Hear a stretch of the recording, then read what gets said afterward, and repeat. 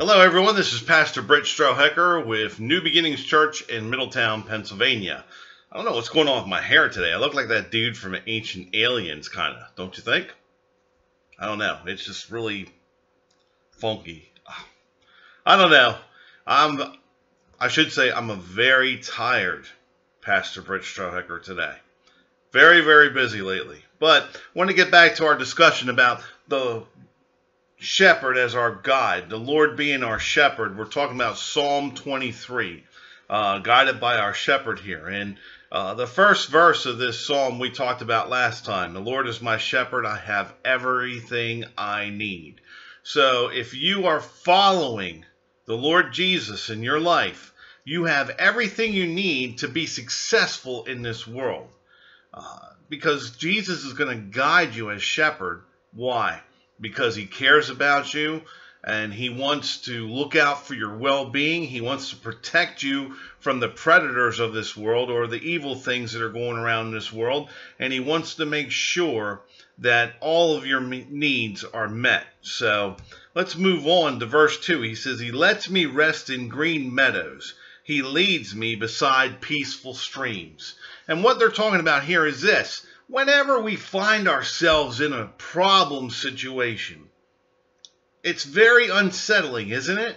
We get really wound up, or we get very stressed out, uh, or we get agitated, or frustrated, or even angry. Um, we're very irritable, uh, and sometimes our anxiety and worry can kick in and take over. So, how do we get away from that? Well, we look to the shepherd guided by our shepherd, will he'll lead us to a solution for the situation that we find ourselves in, the circumstances that we find ourselves in. He's going to lead us to the peaceful streams. He's going to guide us into green meadows. Now, think about this from a shepherd standpoint. Why would a green meadow be important for the sheep? Because that's where they would be able to safely graze and they would get the nourishment that they need uh, to continue to grow and to thrive. And in saying this, the illustration here is, is that the shepherd's going to lead us to resources that will help us solve the problem that we find ourselves in. He's going to lead us to the resources that we need to overcome the situation. And at the same time, he's going to teach us. He's going to nourish us with his word, the Holy Bible. He nourishes us and gives us more wisdom because the word of God equips us with the wisdom that we need to handle life as it really is. And that's why it's important that we allow the shepherd to lead us to those green meadows so that we can find rest there we can find the resources that we need. And when you see a solution to your problem or you find the answers to the situation that you find yourself in that will help you get through the circumstances, you find rest. It is very reassuring. It has a calming effect on you, or it gives you encouragement that you can get through the situation that you find yourself in.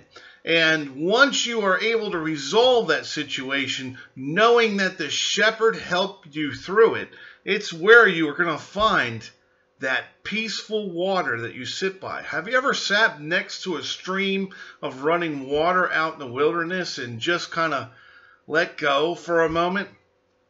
Those are the moments that you're going to have with the Lord if you allow Him to help you resolve your problem. It's going to be just as relaxing, just as soothing as sitting next to that stream that is just trickling by. And that water and that sound is so soothing and so relaxing. And then you got that fresh air coming in, and you're going to feel at peace.